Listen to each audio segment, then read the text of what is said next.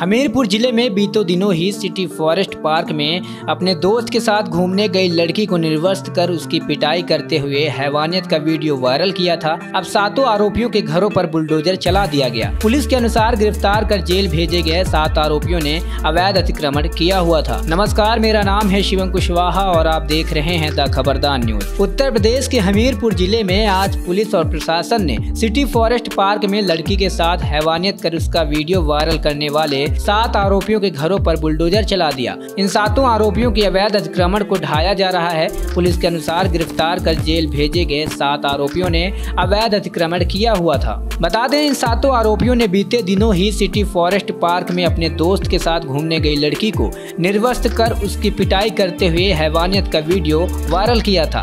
यह सभी सातों अपराधी जेल में बंद हैं और उनके घरों के अवैध निर्माण पर नगर पालिका और पुलिस की टीम ने बुलडोजर चला दिया है। पुलिस ने बताया कि हमीरपुर में 16 अगस्त को हैवानियत की एक वारदात हुई थी। यहाँ एक युवती के साथ सिटी फॉरेस्ट इलाके में आधा दर्जन युवकों ने हैवानियत करते हुए उसका वीडियो बनाया था और उसे वायरल किया था। जिस पर पुलिस ने कार्यवाही करते हुए आठ आरोपियों को गिरफ़्तार कर जेल भेज दिया था, जबकि अभी भी कुछ फरार है। हमीरपुर प्रशासन ने हैवानियत की वारदात करने वाले उन आरोपियों की प्रॉपर्टी को चेक कराया तो सातों आरोपियों द्वारा अवैध अतिक्रमण किया हुआ पाया गया। हमीरपुर प्रशासन ने हैवानियत की वारदात करने वाले उन आरोपियों की प्रॉपर्टी को चेक कराया तो सातों आरोपियों द्वारा अवैध अतिक्रमण किया हुआ पाया, जिसको ध्वस्त करने के लिए आज सुबह से ही पुलिस और प्रशासन बुलडोजर लेकर पहुँच गया और ध्वस्तीकरण का काम शुरू किया गया। Bureau report, the Khabardar news.